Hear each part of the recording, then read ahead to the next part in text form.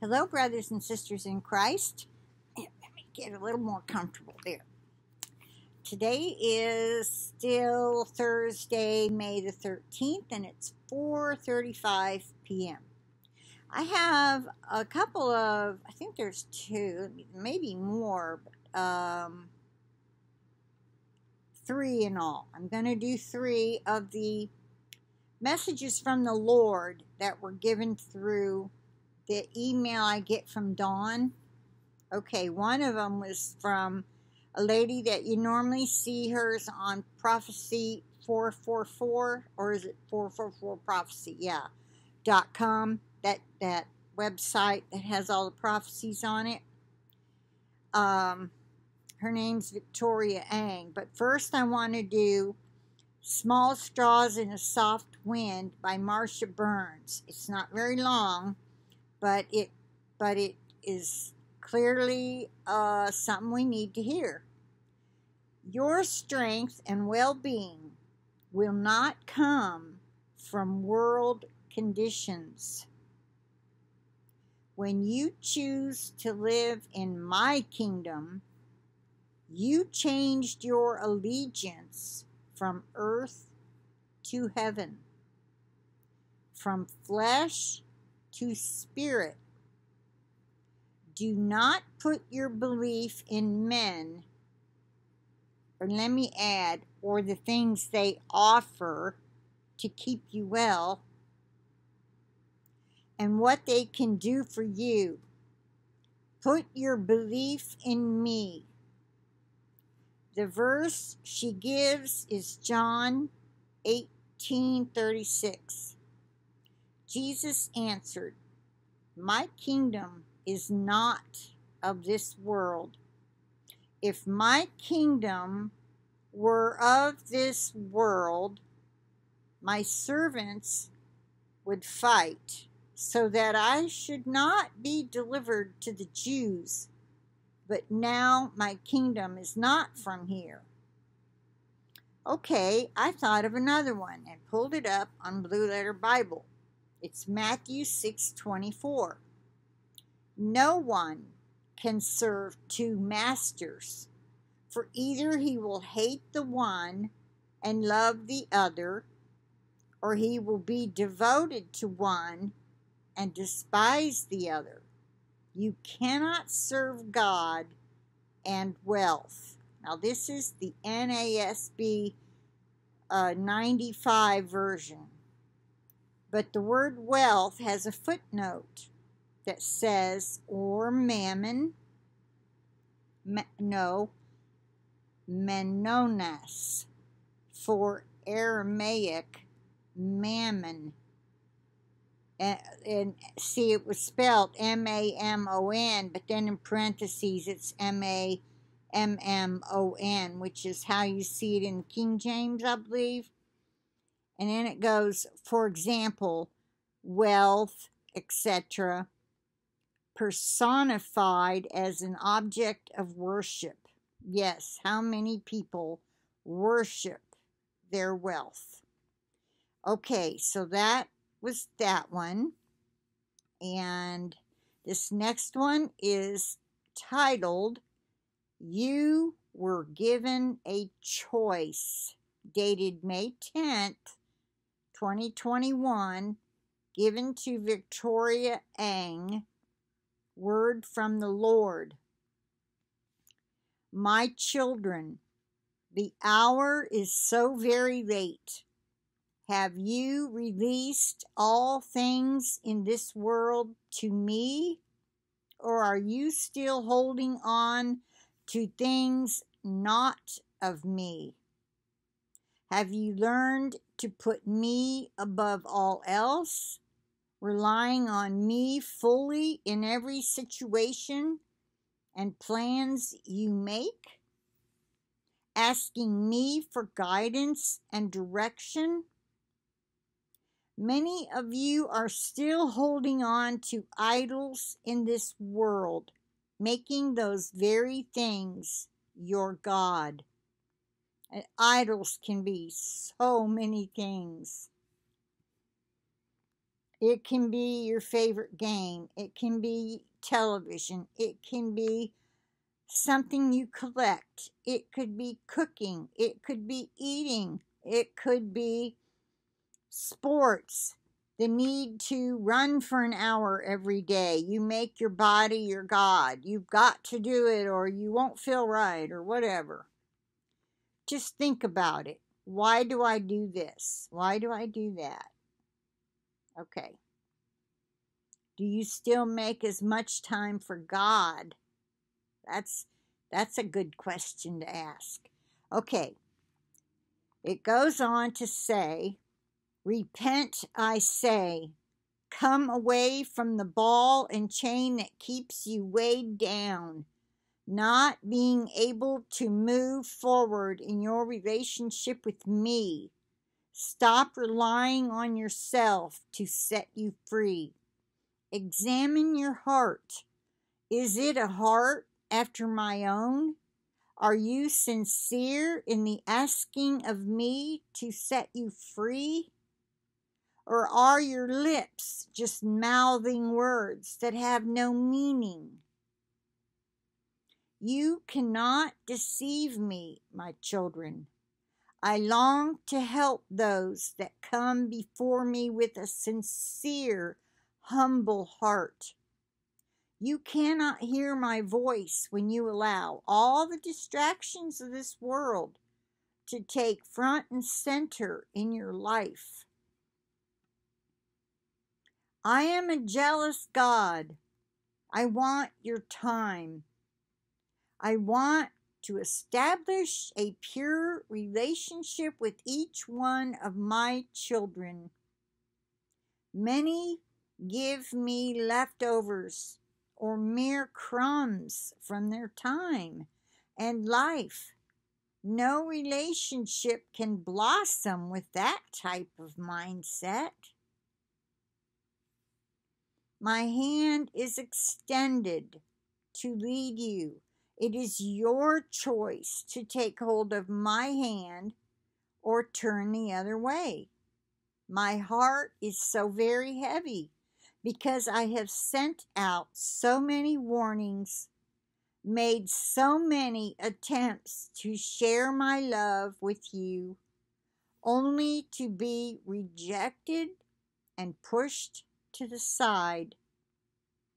So many will perish and will not spend eternity with me. And for that my heart grieves.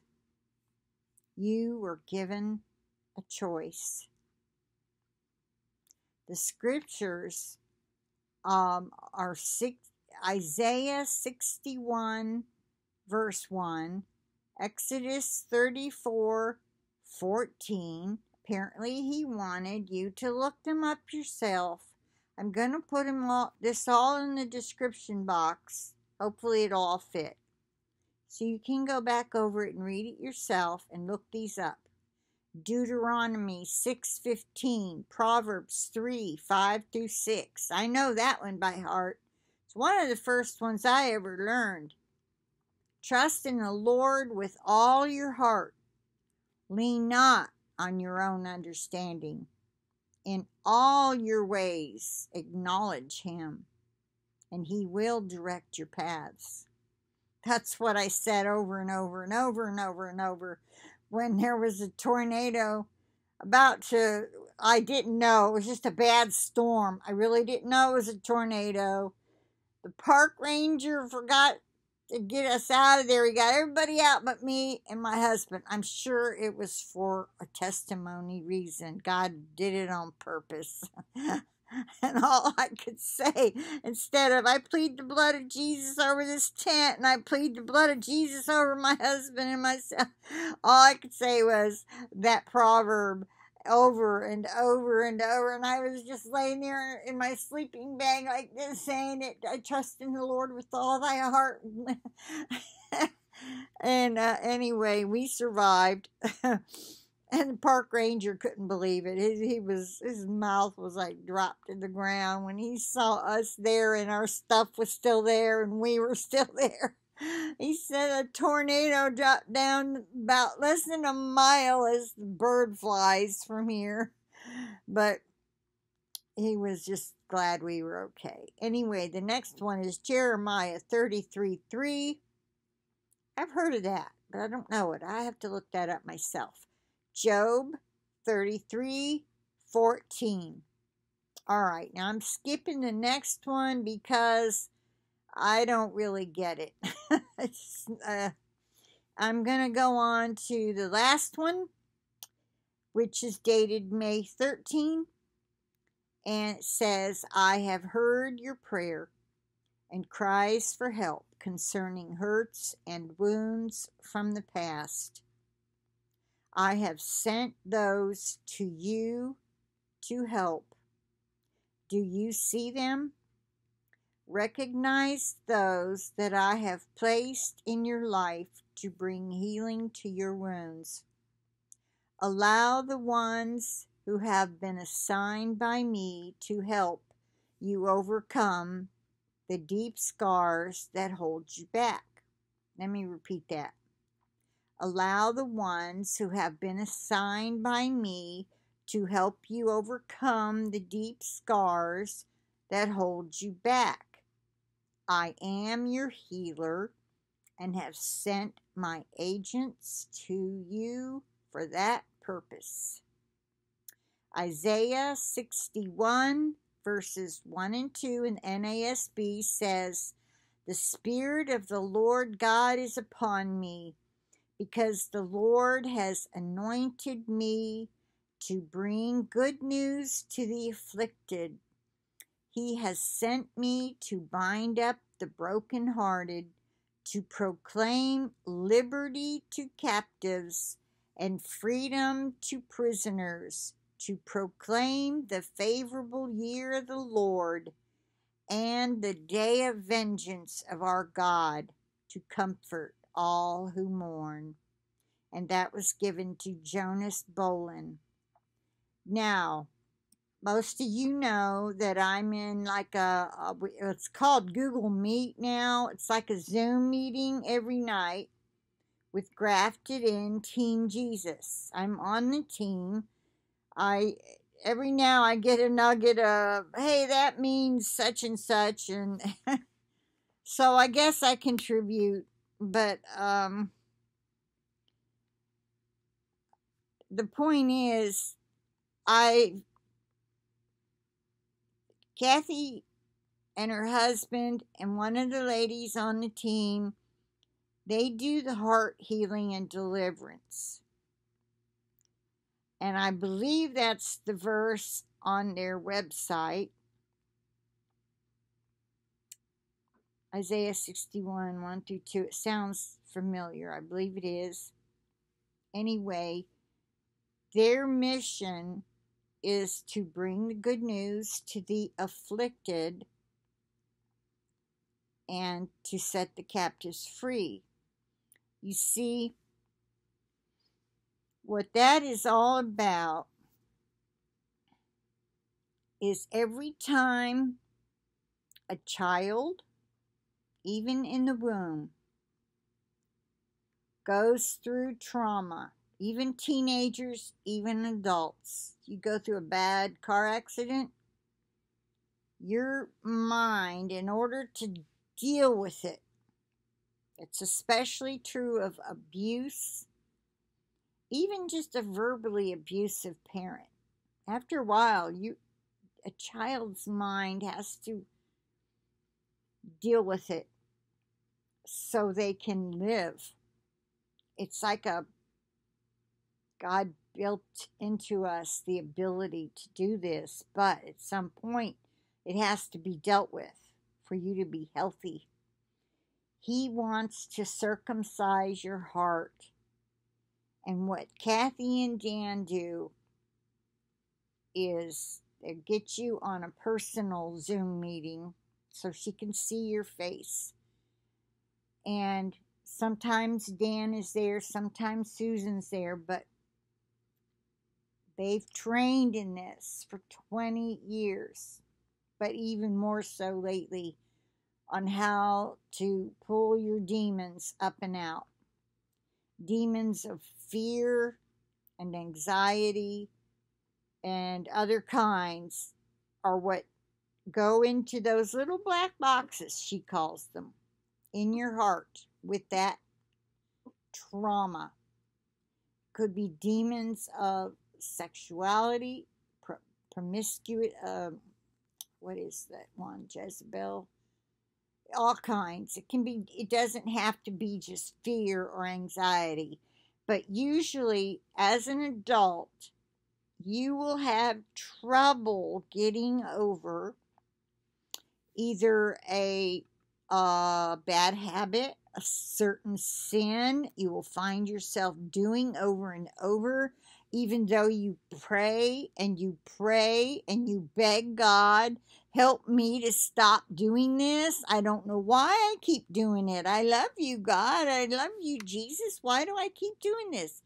You may have a heart healing issue that you have shoved to the recesses of your mind and it's pushed down so far in your heart that you can't remember the trauma or that even that it even was such a bad trauma but you contained it and that demon can cause you it could be a, a spirit of lies. Your if a parent lied to you all the time, uh, oh, we're going to go to um, so and so's house to visit this weekend. I promise. I promise. Because they're always busy and where weekend comes. I'm so sorry, honey. I have to finish these papers. Say your mom's a lawyer. And they are always busy. And instead of just saying, look, I'm always busy. I am so sorry. What can I do? What can we do together? You know, work it out. If you have to hire a, a babysitter that you trust to take your child to the park, do it. But, but it's kind of too late for that now. But what I'm saying is, let's say your parent continually lied to you you may have a spirit of lying in that little box that kept being hurt. And to deal with those hurts, you just made the box bigger and bigger or more and more boxes. It just depends on the situation. That's what they help you to break open and get that demon out. And then you're able to stop lying. Do you see? If that's your problem, that could be your problem.